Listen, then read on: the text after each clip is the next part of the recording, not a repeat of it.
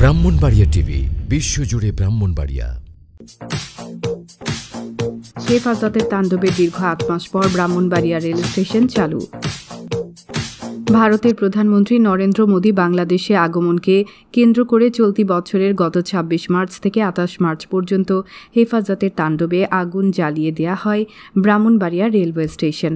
এতে স্টেশনে কর্তব্যরত স্টেশন মাস্টারের room, operating room, VIP room, প্রধান booking সহকারীর room, ticket counter, panel board সহ সিগন্যালিং যন্ত্রপাতি, পয়েন্টের সিগন্যাল সহ বক্স সহ লেভেল ক্রসিং গেট ও অন্যান্য স্থাপনা ভাঙচুর ও অগ্নিসংযোগ করে বিনষ্ট করে দেয় দুর্বৃত্তরা ঘটনার পরের দিন থেকে ব্রাহ্মণবাড়িয়া স্টেশনে সব আন্তনগর ট্রেনের যাত্রা বাতিল করা হয়।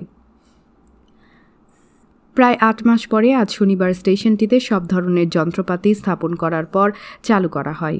স্টেশনটির সংস্কার কাজের পুনঃ উদ্বোধন উপলক্ষে আজ শনিবার সকালে ব্রাহ্মণবাড়িয়া রেলওয়ে স্টেশনে সুধী সমাবেশের আয়োজন করা হয়। এতে প্রধান অতিথি ছিলেন বেসামরিক বিমান ও পর্যটন মন্ত্রণালয় সম্পর্কিত সংসদীয় স্থায়ী কমিটির সভাপতি ও ব্রাহ্মণবাড়িয়া সদর তিন আসনের সংসদ সদস্য র আম ও উবায়দুল মুক্তাদির চৌধুরী। প্রধান অতিথির বক্তব্যে তিনি বলেন দু হাজার ষোলো একবার স্টেশনটি ভাঙচুর করা হয়েছে। এদেরকে আমি মানুষ বলে মনে করি না। সেদিন আমি বিচার বিভাগীয় তদন্ত চেয়েছিলাম, কিন্তু হয়নি। হামলার ঘটনার মামলাগুলোর সঠিক তদন্ত হয়নি।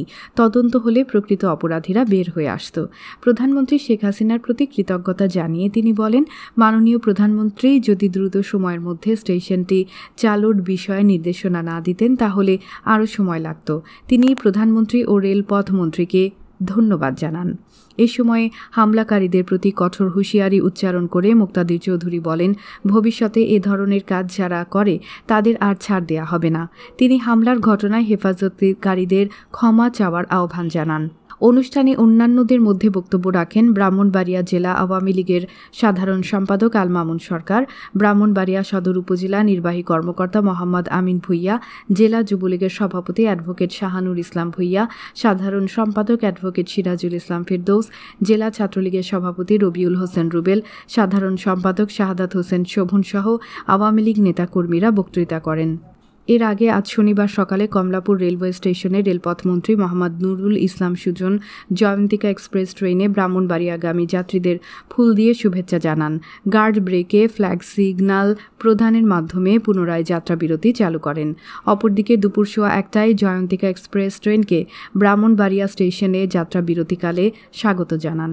ব্রাহ্মণবাড়িয়া সদর তিন আসনের সংসদ সদস্য র আ ম উবায়দুল মুক্তাদির চৌধুরী। এর মধ্য দিয়ে পূর্বের ন্যায় ব্রাহ্মণবাড়িয়া স্টেশনে যাত্রা বিরতি করা চোদ্দটি আন্তনগর, আটটি মেইল এবং চারটি কমিউটার ট্রেনের যাত্রা বিরতি করবে। নিজস্ব প্রতিনিধির পাঠানো তথ্যচিত্রে ব্রাহ্মণবাড়িয়া টিভি।